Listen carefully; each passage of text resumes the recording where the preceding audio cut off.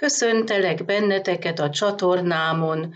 Örülök, hogy kiválasztottátok a videómat.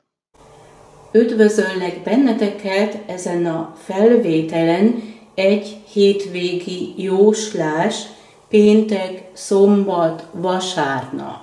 Mielőtt elkezdeném ezt a jóslást, szeretnék valamit közölni veletek. Én foglalkozom a Maja naptárral. És hamarosan nyílik megint egy ilyen égi kapu, és most tíz napig tart ez a hatás. Ez indul július 13-án, és eltart július 22-ig.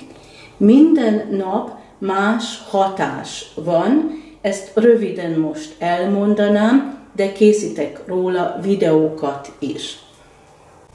Tehát ez kezdődik július 13-án, és az imis hatása alatt áll.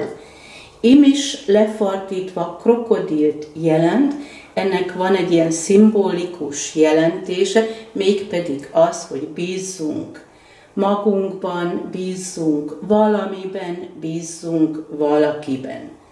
Július 14-e ik hatása alatt áll, ez lefordítva szelet jelent, és itt fontos a könnyűség és a beszédek kommunikáció.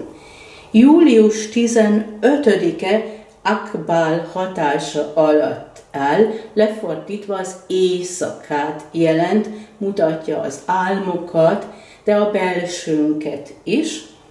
Július 16-a Kán hatása alatt áll, az annyit jelent, hogy ilyen magocska, amit elvetünk, és ha mi ezt most elkezdjük, ha most mi ezt elvetjük, akkor ez így kivirágzik, tehát ez egy jó kezdet ez a nap.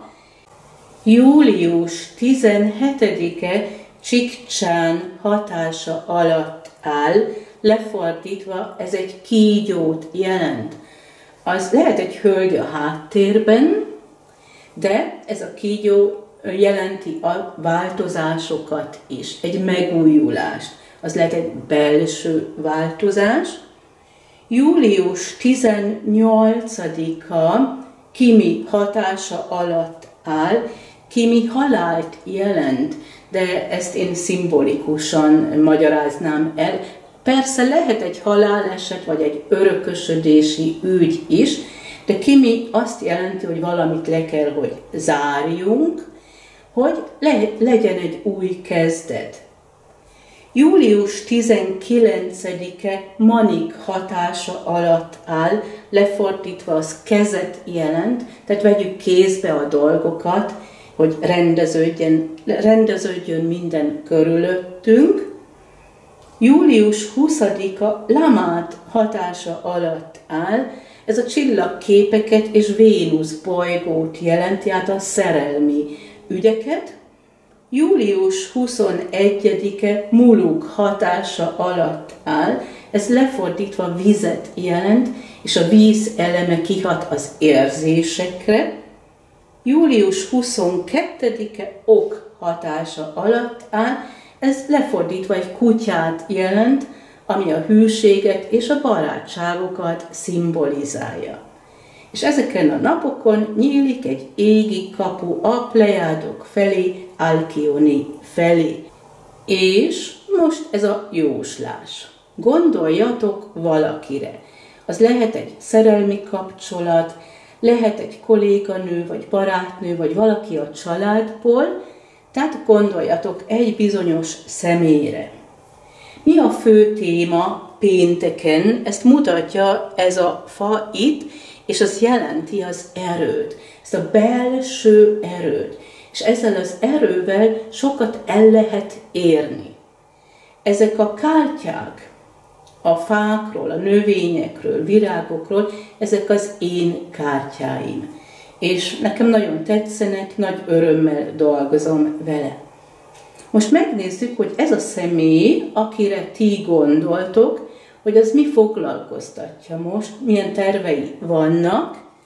Ez a virág mutatja az árnyékot. Ő úgy gondolja, hogy most átlátnak rajta, nem veszik észre, hogy ott van, vagy visszahúzódó az árnyékba. És milyenek az érzelmei, azt mutatja itt ez a növény. Itt arról lesz szó, hogy valamit rendez, valamit tisztítani szeretne. És szombat, a fő téma itt van, egy lassú mozgás, de így elértek valamit. Ez a növény utal a párkapcsolatra, vagy egy szerződésre.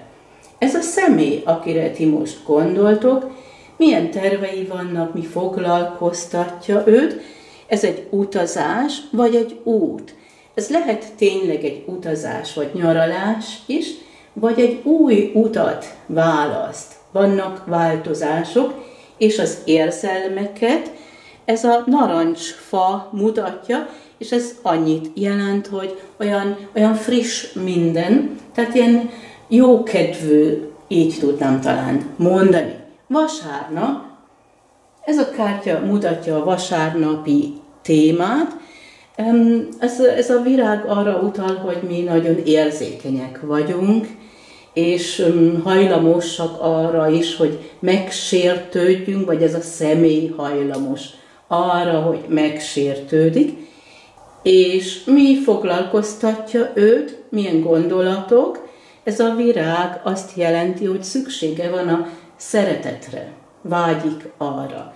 És az érzéseit mutatja ez a növény, ez nem csak a szeretetet, hanem keresi a közeledést is, ha párkapcsolatról van szó, ez mutatja ezt a testi közelséget. És ez volt a hétvégi jóslásom. Köszönöm figyelmeteket, viszont hallásra!